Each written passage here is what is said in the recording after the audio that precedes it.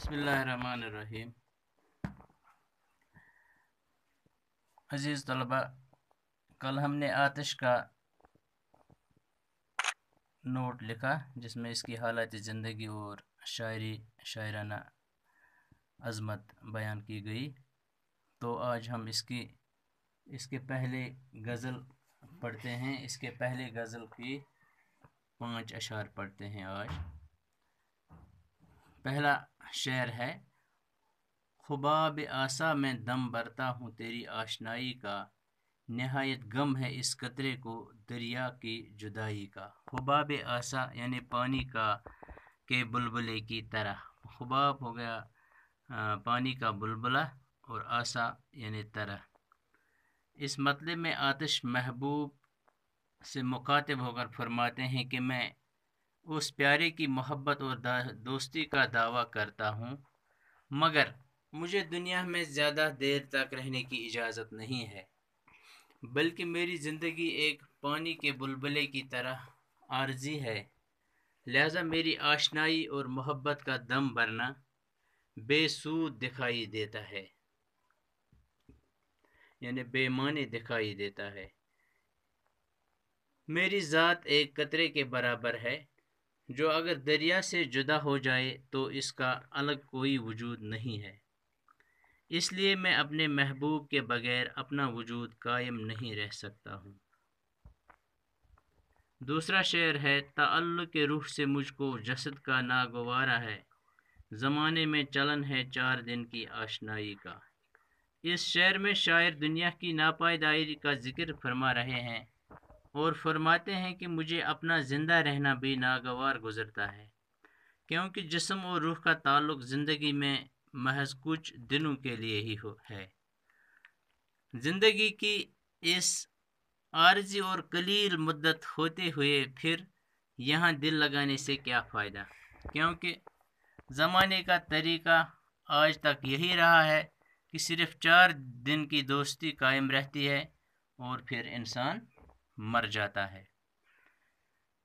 तीसरा शेर है, फिरा के यार में मर मर के आकर जिंदगानी की रहा सदमा हमेशा, रूह व कालिब की जुदाई का। फिराक यानी जुदाई, फिरा के यार यार की जुदाई में।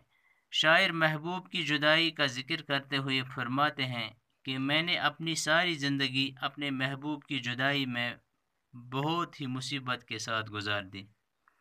और इस बात का हमेशा ही सदमा रहा, दुख रहा कि मेरी रूह, जो मेरे महबूब में बसी थी, मेरे जिस्म से हमेशा जुदा ही रही। जिस तरह जिस्म को रूह की जुदाई का गम होता है। चौथा शेर है, नज़र आती हैं हर सो, सूरतें ही सूरतें मुझको।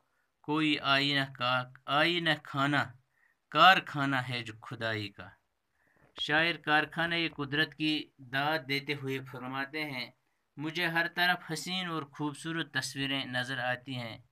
अल्लाह ने कायनात को एक कारखाना की मानत बनाया है, जहाँ हर तरफ़ आईने और हर आईने में उसी ज़ात मुक़दस की तस्वीरें नज़र आती हैं। यानी जिस तरफ़ देखते हैं, वहाँ आपकी ही ज़ात मुक़दस नज़र आती हैं। इन्हें जिधर देखते हैं, उधर तू ही तू है। निकल ए जान तन से, पांचवा शहर है, ता विसाल यार हासिल हो। चमन की शेर है अंजाम, बुलबुल को रिहाई का। शायर फरमाते हैं, जिस तरह बुलबुल को कैद से आज़ादी मिलने पर चमन की शेर नसीब होती है इसी तरह जब जान जिसम की कैद से आज़ाद हो जाएगी तो इससे अपने महबूब हकीकी का विसाल हासिल होगा।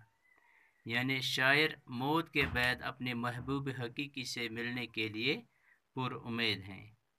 यानी इसने बुलबुल की मिसाल दी है।